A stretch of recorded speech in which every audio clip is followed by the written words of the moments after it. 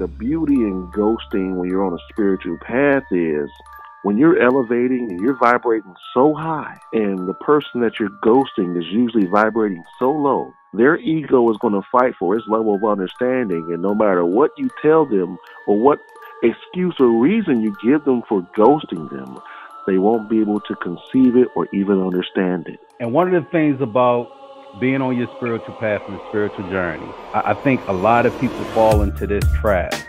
You can be disillusioned just because someone has a raised consciousness, just because someone has a like mind like yours, just because someone's on their spiritual journey, they talk the talk and walk the walk. That doesn't always translate to compatibility with your spiritual journey, your spiritual path. Hashtag you've been ghosted.